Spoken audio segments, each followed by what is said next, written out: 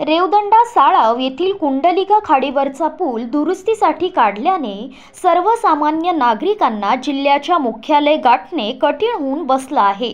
या पुलावरून अवजड वाहतूक बंद करण्यात आली असल्याने सर्वसामान्य लोकांची एस टी वाहतूक सुद्धा बंद करण्यात आली आहे.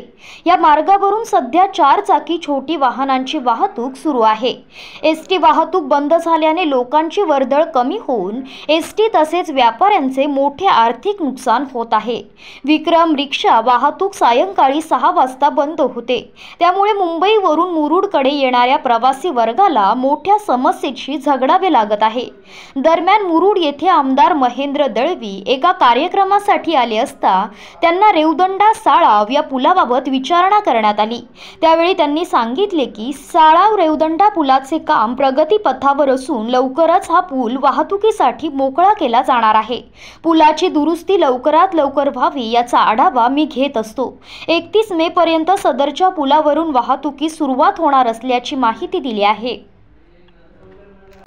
पनवेल आणि नवी मुंबईच्या ताज्या घडामोडींसाठी मल्हार टीव्ही न्यूज सबस्क्राईब करा आणि बेल आयकॉन दाबून रहा अपडेट.